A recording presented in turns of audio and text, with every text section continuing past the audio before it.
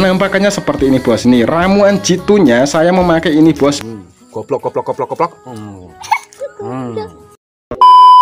When I'm with you, I am able to keep pushing my limits and all the drive that See you bosku. Assalamualaikum warahmatullahi wabarakatuh. Come back with me. Oke. Nah di video kali ini kita membahas soal ramuan jitu bos Yang saya yakini dan saya percayai Itu dapat mempercepat eh, pertumbuhan ya Untuk anak-anak unggas yang kita pelihara bos. Di sini saya mempraktekkan untuk anak-anak unggas entok dan anak-anak unggas ayam bos. Nah itu Alhamdulillah eh, setelah usia satu bulan itu eh, apa ya eh, pertumbuhannya sangat bagus sekali bos ya. Didukung dengan eh, pemberian fur yang tentunya kita pakai fur yang kontroversi bos yaitu fur T51 atau fur babi. Nah kenapa saya bahas lagi video ini atau cara ini? Ya ndak tahu. karena di video saya yang satu tahun eh, yang lalu ya bos yang saya membahas soal ramuan ini itu banyak sekali komentar dari para netizen terhormat bosku ya yang katanya eh, setelah beliau atau mereka itu mempraktekkan di kandang mereka itu ternaknya banyak sekali yang mati ya. Bukannya eh, apa mempercepat pertumbuhan tapi malah mempercepat kembali kepada sang maha pencipta. Gitu bos. Berhubung ada beberapa orang yang mengatakan bahwa eh, setelah memakai cara saya ya eh, dengan apa ya eh, ramuan jitu ini nah, itu banyak sekali yang mati. Katanya banyak sekali yang mati gitu bos. Nah ini saya uji coba lagi bos. Uji coba lagi ya. Ini bukan hanya uji coba di kandang ternak saya sendiri dengan ternak saya sendiri. Ini sudah saya uji cobakan juga di kandang milik teman saya bos. Ya jadi eh, apa ya idep-idep kandang teman saya atau ternak teman saya itu buat tumbal gitu bos ya. Apakah mati atau tidak? Nah di depan kalian ini ini adalah entok usia tiga minggu lebih bos ya tiga minggu lebih.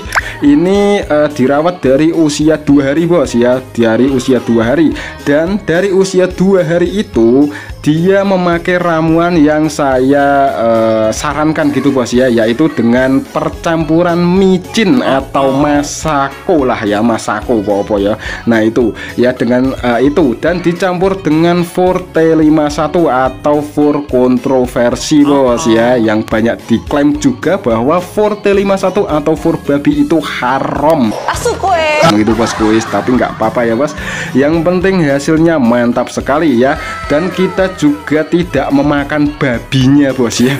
Nah ini itu hanya fur untuk babi gitu bos. tapi eh, kita apa kita gunakan untuk memberikan eh, en- pakan untuk entok dan ayam. Nah ini penampakannya seperti ini bos. Ini ramuan jitunya saya memakai ini bos bio ya bio itu apa ya? Micin bos ya. Ini untuk penggoblogan hewan ternak kita bos ya. Karena yang saya share ini ini tuh bukan ilmu pinter-pinter itu bos. Itu bukan bos ya. Ini tapi eh, ilmu penggoblogan ngono lah bos ya. Ilmu nekat. Nah ini saya uji cobakan ya eh, di anak ayam ini bos ya. Di anak ayam milik bapak saya bos ya. Jika eh, anak ayamnya mati ya otomatis saya disemeni toh bos ya. Saya dimarahi.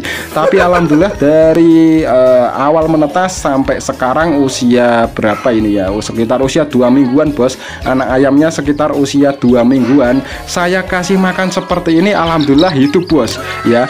Dan ini memang dari awal cuma menetas tiga bos. Jadi nggak ada yang mati itu enggak ya. Karena dari awal memang menetasnya tiga sebenarnya empat ya. Yang satu yang satu itu digondol kucing bos ya. Digondol kucing dimakan kucing gitu. Ya ini karena eh, di tempat kita itu pejantannya tidak ada. Jadi eh, apa itu tingkat kefertilannya itu apa ya tipis banget bos ya. Karena untuk pejantan itu kita mengandalkan milik eh, tetangga. Itu kadang diumbar kadang dikurung tapi lebih banyak dikurung. Nah jadinya hasilnya ya seperti ini bos. Telurnya banyak sekali yang tidak fertil. Dari 15 telur yang menetas hanya empat lah. Ya kentir bos.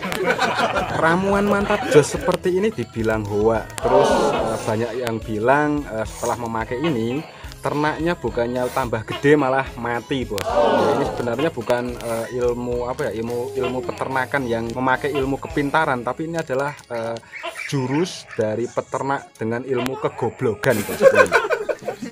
Kayak gini dibilang ah, ah.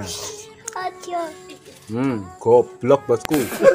Hmm, goblok goblok goblok goblok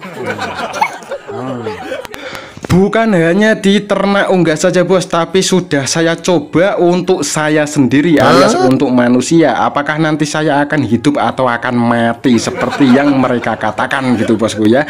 Nah ini uji cobanya nggak tanggung-tanggung bos ya, bukan hanya di hewan ternak saya ataupun di hewan ternak teman saya, tapi ini saya uji cobakan untuk diri saya sendiri bos. Ya, apakah eh, hidup atau tidak? Kalau goblok ya saya dari dulu sudah goblok bos ya. Jadi eh, apa ya eh, nggak ngaruh gitulah bos. Nggak ngaruh untuk micinya itu pinter po goblok itu bagi saya nggak ngaruh bos. Karena saya sudah dari dulu emang goblok bosku ya.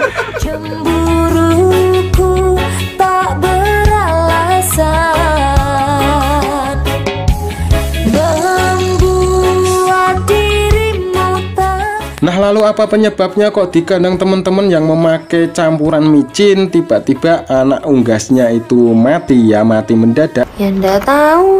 Nah itu mungkin kalau menurut saya ya menurut saya itu kondisi anak unggas entah itu anak ayam entok ataupun bebek yang eh, sebelumnya belum dikasih micin lalu tiba-tiba dikasih tambahan micin dan esok harinya itu mati. Nah itu mungkin karena yang pertama eh, anak-anak unggas itu memang dalam kondisi yang sakit atau tidak sehat ya. Terus yang kedua itu bisa saja micinnya itu kebanyakan bos ya. Kalau eh, tidak biasanya itu faktor lain biasanya itu apa eh, micin ditambah dengan garam bos ya. Nah itu itu yang membuat eh, apa ya kayak overdosis itu ke sebetulnya sebetulnya dengan percampuran bahan yang lain bosku ya. Kalau di tempat kita itu untuk percampuran micin hanya dicampurkan di pakan saja. Lalu untuk air minum kita biasanya menggunakan air leri bos ya bukan air garam. Nah jadi jika kalian ingin mencoba eh, menggunakan micin ini bisa saja kalian coba tapi ingat bos untuk percampuran air minumnya itu tidak usah dicampur bahan apa-apa ya. Nanti takutnya malah overdosis kayak eh, dicampur dengan vitacik ataupun dicampur dengan bahan-bahan yang lainnya. Kalau dicampur dengan eh, air leri atau air cucian beras itu monggo. Karena apa? Karena di kandang ternak kita itu sudah kita buktikan. Untuk pemberian micin di dalam pakan dan pemberian eh, air leri atau air cucian beras di dalam air minum itu sampai sekarang alhamdulillah tetap sehat sehat ya untuk unggasnya dan tetap urip bosku. Kehilangan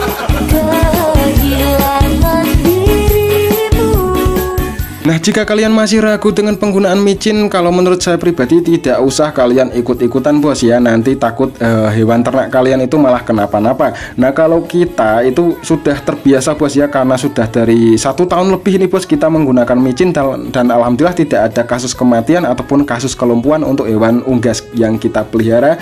Tentunya dengan dikasih pemberian micin di dalam pakannya bos ya. Nah dulu saya pernah memiliki kasus bahwa eh, untuk unggas dewasa itu tidak lahap makan setelah saya kasih campuran dalam pakannya itu dengan micin.